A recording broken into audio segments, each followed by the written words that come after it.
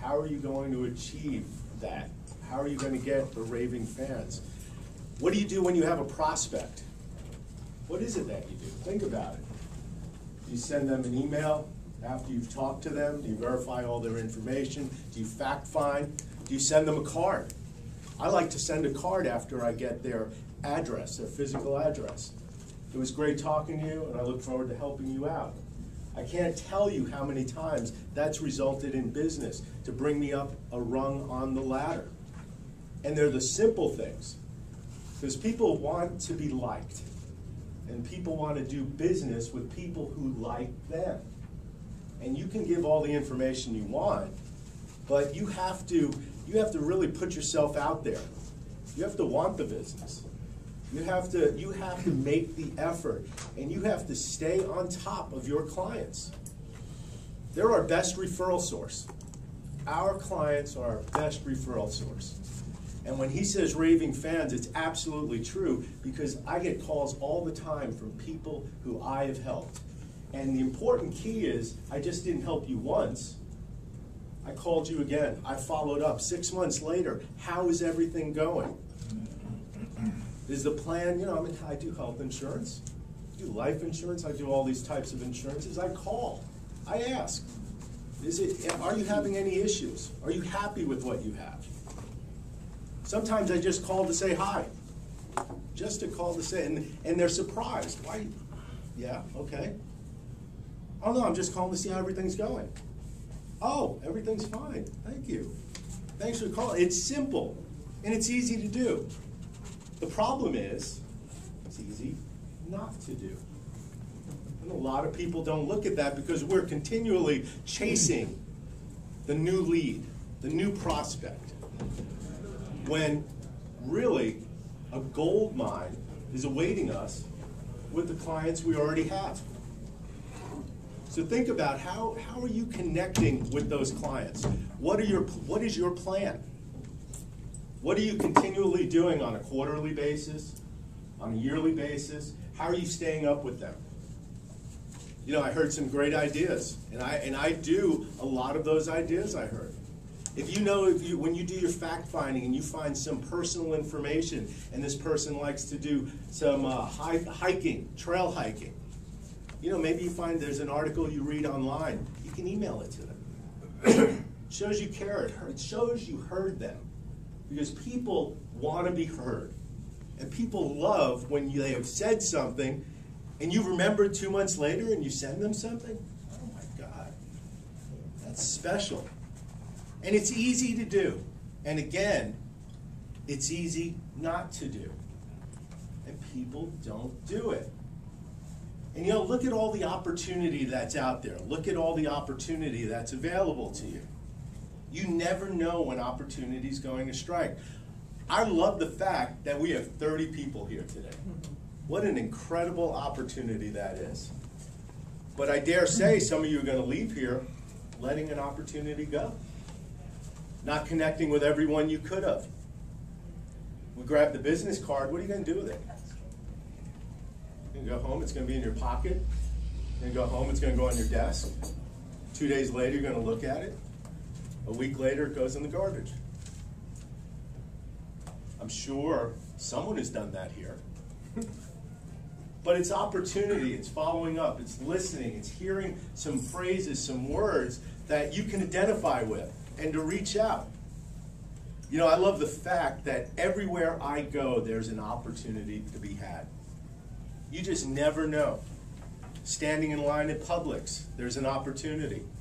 Talking with Michael out here at the front as he's taking your money is an opportunity to have a conversation. Talking with someone here is an opportunity. But we're always in the sell sell mode, right? We're, always, we're not listening. I want you to listen to me.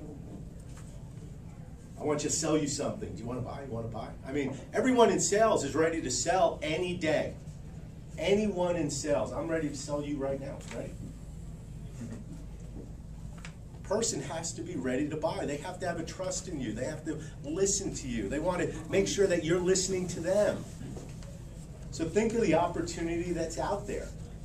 Because there is so much. I had the opportunity. I was past few days, this past weekend, I was down in the dumps. Has anyone been there like, no momentum, just like, just moving along and trying to break out of that funk?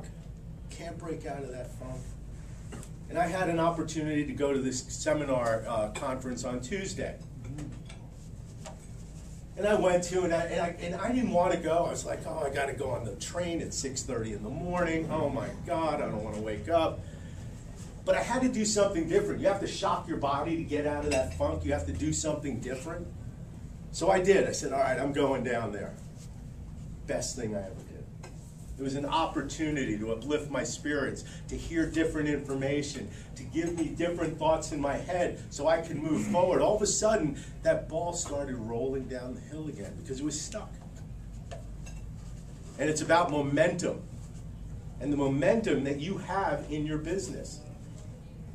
And what are you doing to create that momentum? Are you staying in touch with your business, with your uh, referral partners? Are you staying in touch with your gate openers? Are you staying in touch with your customers? And when it stops, when you slow down a little bit, when you're stuck, you got to do something that shocks you. You got to push yourself out of that and do something else. And you'll be surprised how getting out of that comfort zone is going to push you in a different direction, is going to get you going again. I got excited by that on Tuesday. I heard, I heard Les Brown speak. Oh, he was there. It was awesome. If you don't know who he is, go on YouTube and YouTube him. You want to feel uplifted? You want to feel like you can do whatever you want to do? Think about it. You know, we were all meant to have success in this life. We were all meant to have it. The problem is, not everyone here believes it. The problem is, we think small. We don't think big. I want to make $50,000 this year. No, I want to make $250,000. Why not fail big? If you're going to have a goal, fail big. Don't fail small. I want a car. I want a white Ford Taurus. No, I don't want that. I want a custom made Maserati. $750,000. And if I fail, maybe I'll get the Aston Martin at 150. fail big. Look at those dreams. Keep pushing yourself forward. Look at all the opportunities. And before you know it, you'll be able to get there. But it takes a plan, it takes goals, it takes discipline, it takes hard work. You got to keep moving forward. And when you get stuck, you got to look at those disciplines. You don't want to wake up early in the morning? You still got to do it. You don't want to make those phone calls? You still have to do it. Because you got to break out of the funk. And I broke out of the funk, so I'm happy. I'm excited. So take today, look at every action you have as an opportunity. Appreciate life. Have gratitude in your life. Help someone here today. If you heard something today that differentiated someone, reach out to them. I did. I heard some good information. And I'll tell you what I heard that differentiated someone from other people. Visual identity. Those are great two words right there. Visual identity. Wow. You know, I never thought about that. The chicken outside as you walk in, I never saw that. That's your visual identity. Three, everything's chickens. Wow, that's some great information. Navigators versus agents differentiating yourself. Awesome. Awesome. What is the difference? He told us. That's great information. And that's opportunity. He's created opportunity for himself. And Carlton with the tax code 179. 179. Right? Awesome information. 500K for 2013, 25K for 2014. Differentiators create opportunities. Go out today, Look at everything in your life as an opportunity. Reach out to someone. Do something different. Give before you receive, and you'll have success in your life. Thank you.